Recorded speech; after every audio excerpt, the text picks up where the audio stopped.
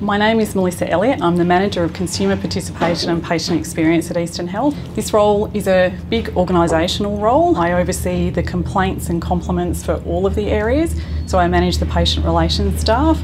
I also look after the consumer register at, at Eastern Health, which is about 85 consumer register members, so ex-patients, current patients, community members and um, family members, carers. That role has grown and grown um, across Eastern Health and more and more I'm asked for consumer participation on committees, focus groups, forums and redesign, redesign events. The patient experience model of care at Eastern Health is in the patient's shoes, so everything that we do is placing the patient's perspective in everything that we do. We have the 10 principles of care that measure and monitor everything that we do each month. We produce a patient experience of care report quarterly and we measure everything against those principles. So the Victorian Healthcare Experience Survey, the VES experience data, the local patient experience data, our compliments, complaints, and our leadership walkarounds. Our leadership walkarounds provide great feedback from, from our patients and families and are able to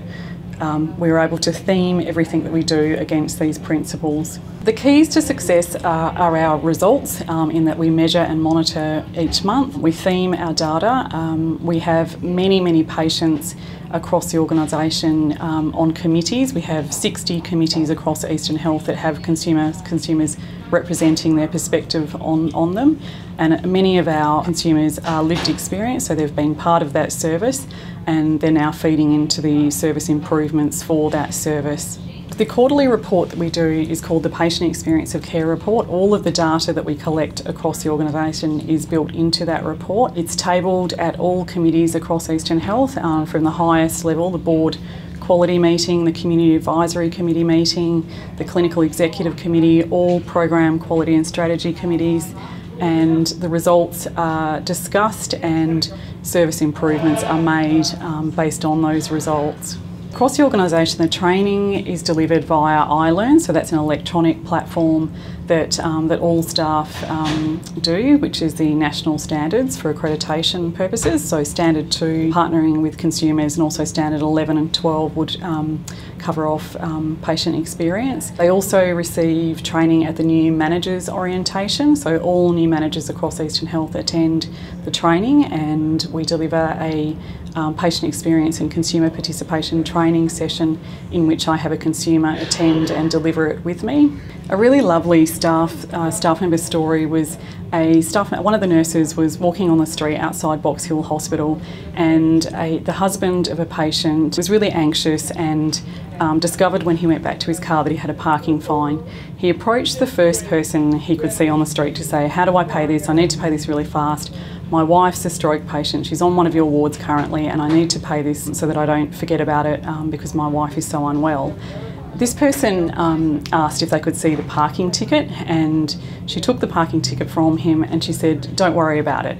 And he said, What do you mean? And she said, I, have paid it. So she pulled out her phone and she actually paid that parking fine on the spot to ensure she could see that he was really stressed and upset, and um, so that she, she, wanted him to be able to get back to his wife fast and not and not be stressed about a parking fine at Box Hill. The staff members stepped outside of their comfort zone and they and they showed empathy and kindness in everything that they did.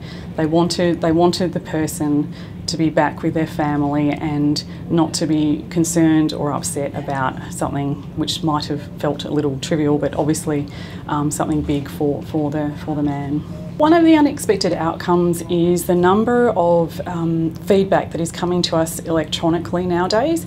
So what has become really large and um, significant at Eastern Health is Patient Opinion, which is a, an electronic platform for patients and families to tell us their story. They'll log on, it'll be anonymous, and they'll um, publish a story online um, that we that we receive, and our CEO responds to all patient opinion stories. To date, we've had about 465 stories and at least uh, 250,000 viewings of those stories. So it's become a very transparent mode for us to um, for patients and families to share their story. The leadership at Eastern Health lives and breathes patient experience around communication and um, empathy and compassion and we, we have new values um, that the leadership has designed for us in patient first, kindness, agility. I'd like to share a patient experience story with you all. About 12 months ago, we received a really lovely compliment from a chaplain. A patient in ICU were, were, was in their last days of living, and her daughter was being married in the next two weeks. She was, it was very unlikely that she would make the wedding, uh, be able to attend it. So the staff in ICU contacted a chaplain and arranged for the wedding to be brought forward and to be held actually in ICU. The patient's room was dressed with candles and flowers and photos and the, the celebrant conducted the wedding. The celebrant who wrote the compliment to us um, said that he, it brought a grizzly old 71 year old to tears um, and it was absolutely beautiful. In this act, the staff showed that they met all of our values kindness, empathy, agility, in able, being able to do it really fast for the family, and obviously patient first. They, pay, they placed the patient first in everything they did in this, in this action.